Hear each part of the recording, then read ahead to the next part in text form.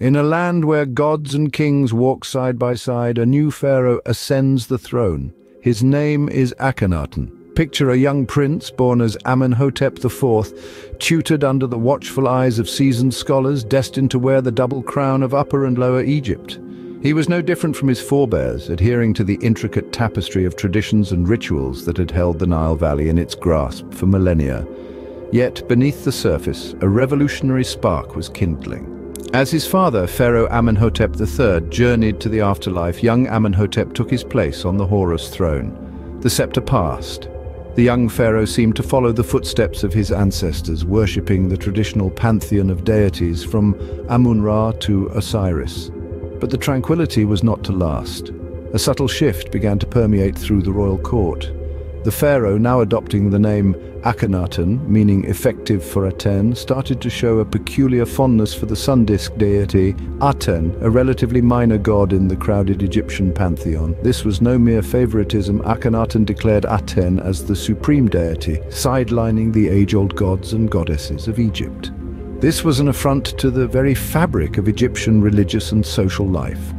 From the shadows of the pyramids to the fertile banks of the Nile, whispers began to rise, hinting at the birth of a heretic. The pharaoh, the living god, was challenging the very gods who had bestowed him his divine right to rule. As the sun set on the Nile, casting long shadows over the land of Kemet, the stage was set for an unprecedented upheaval. The pharaoh, the high priest, the nobility and the common folk all were at the precipice of a revolution that would echo through the corridors of time. Little did the people of Egypt know their new pharaoh was about to challenge the very gods they worshipped. Akhenaten was not a traditionalist. He had a vision, a divine revelation that would change everything. Imagine for a moment being in the shoes of this pharaoh.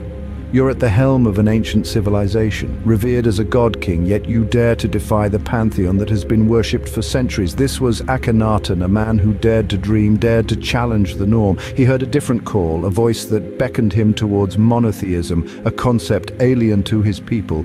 The voice was of Aten, the sun disk, a minor deity elevated to supreme status by our heretic pharaoh. Akhenaten did not simply change the focus of worship from many gods to one, he uprooted centuries-old traditions, shattering the religious fabric of his kingdom. Temples of Amun were closed, priests were dismissed, and in their place he built open-air temples to Aten, where the sun's rays themselves were revered. But his revolution was not confined to the religious sphere, it bled into the arts, into the very way life was depicted. Gone were the rigid, formalistic styles of the past, replaced with a more naturalistic approach. The royal family was shown in intimate, everyday scenes, a stark contrast to the impersonal, godlike depictions of Pharaoh's past. Akhenaten's art was revolutionary, it was radical, it was real. It showed his family with elongated skulls, thick lips and heavy hips. A striking departure from the idealized images of past rulers. Some say this was a stylistic choice. Others argue it was a true reflection of their physical appearance, perhaps due to a genetic condition.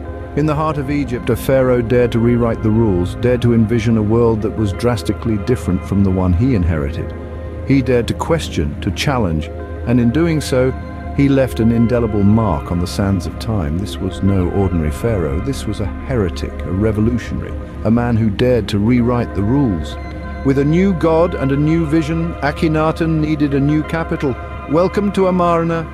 As the sun god Aten rose, an audacious plan took shape in the mind of Akhenaten. He envisioned a city that would embody his new faith, a city that would stand as a beacon of his revolutionary ideas. Amarna was not just another city in the annals of ancient Egypt, it was the grand stage for Akhenaten's audacious experiment. Nestled on the east bank of the Nile, it was a city born of a dream, a dream that dared to challenge centuries of tradition and the very gods themselves. As you wander through its virtual streets, you're not just walking through a city, but through a vision. The architecture of Amarna was revolutionary. It wasn't just the buildings that were different, but the very layout of the city. It was designed to mirror the divine order of the universe as seen through the eyes of Akhenaten. The city's design was an embodiment of the pharaoh's religious ideology. It was a city bathed in sunlight, a city dedicated to the worship of Aten, the sun disk. The open courtyards, the sunken relief art, the absence of traditional temples, all were a testament to this new faith. Amarna was a city like no other. It was the physical manifestation of Akhenaten's theological revolution. The city was the canvas and Akhenaten was the artist, painting with the brush of the divine. But as with all things that defy tradition, Amarna was not without its detractors. There were those who whispered in the shadows, those who clung to the old gods, those who waited for the sun to set on Akhenaten's dream. Yet even as the whispers grew louder, the city stood tall, a testament to a pharaoh's audacity, a symbol of a revolution that dared to challenge the gods. Even today, the ruins of Amarna whisper of a time when a pharaoh dared to dream a new dream, a dream that shook the very foundations of ancient Egypt. Amarna stood as a testament to Akhenaten's audacity, a city that defied tradition and the gods. But not all were pleased with Akhenaten's revolution. The winds of rebellion were stirring. As the sun rose over Amarna, the city of the sun god Aten, whispers of discontent echoed through the streets. Akhenaten's audacious vision, a new religion centered around the worship of a single deity, was met with resistance. The traditional pantheon of gods once revered by all had been cast aside. The priests stripped of their power and influence were the first to oppose the heretic pharaoh. Their voices were joined by the nobles who saw their wealth and prestige dwindle under Akhenaten's reign. They missed the grandeur of Thebes, the city they once called home. The new capital, Amarna, was a symbol of the pharaoh's break from tradition, and they yearned for the familiar. Even the common people, who at first had embraced Akhenaten's vision of a unified Egypt under a single god, began to feel the strain. The harsh realities of life in Amarna, coupled with the absence of their familiar gods, stirred unrest among them. The winds of rebellion grew stronger, fueled by the whispers of the discontented. And then, the unthinkable happened. The people, once loyal subjects, rose against their pharaoh. Their rebellion was not marked by battles and bloodshed, but by a silent resistance. They began to disassemble Akhenaten's monuments, erasing his vision from the sands of Egypt. But the pharaoh was undeterred. He held firm to his belief in the sun god Aten, even as his world fell apart around him. He continued to rule from his forbidden city, seemingly oblivious to the rebellion brewing beneath the surface. In the end, it was Akhenaten's own son, Tutankhamun, who would restore the old gods and order. He returned Egypt to its traditional roots, moving the capital back to Thebes and reinstating the worship of the old gods. Akhenaten's monuments were dismantled, his city abandoned, and his name all but erased from history. Akhenaten's vision was crumbling, but his legacy was far from forgotten. Even in rebellion, the echoes of his radical reign reverberated through the annals of time, forever marking the era of Akhenaten, the heretic pharaoh. Akhenaten was gone, but his impact on Egypt was indelible.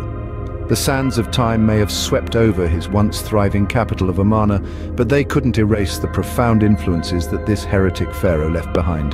This unconventional ruler, often seen as a maverick in the grand tapestry of Egypt's history, dared to challenge the old ways, his vision, though initially met with resistance, managed to seep into the very fabric of Egyptian culture. Even after his death, his radical ideas found their way into the hearts and minds of those who dared to see the world through his eyes. The artifacts that survived from his reign, now scattered in museums around the world, tell a tale of a man who was not afraid to swim against the current. The distinctive Amarna art style, with its emphasis on realism and attention to detail, was a breath of fresh air in a world accustomed to rigid formulaic depictions. This departure from tradition was not just about aesthetics. It was a reflection of Akhenaten's commitment to break free from the shackles of the past and embrace a new way of seeing the divine. And let's not forget the most enduring aspect of Akhenaten's legacy, the concept of monotheism. While it's true that his attempts to replace the traditional pantheon with a single solar deity were met with stiff resistance, the seeds of change had been sown. The idea of a single, all-powerful God would later find its way into the major world religions, forever changing the course of human history. Akhenaten's reign, though brief, was a period of intense innovation and transformation. It was a time when the old rules were questioned and new ideas were born. His influence continued to be felt, subtly shaping the course of Egypt's history long after he was gone. Though branded a heretic, Akhenaten left an indelible mark on Egypt. His legacy, forbidden yet enduring, still fascinates us today. As we delve deeper into the echoes of his reign, we can't help but marvel at the courage of this man who dared to go against the tide, leaving behind a legacy that continues to endure, inspire and intrigue. And Akhenaten, a name that echoes across millennia, a story that still captivates us. From his audacious rise to power, the heretical vision that stirred rebellion to the enduring legacy etched into the fabric of ancient Egypt. This heretic pharaoh dared to challenge the gods, leaving an indelible mark on history. His tale reminds us that even in the face of opposition, ideas can endure.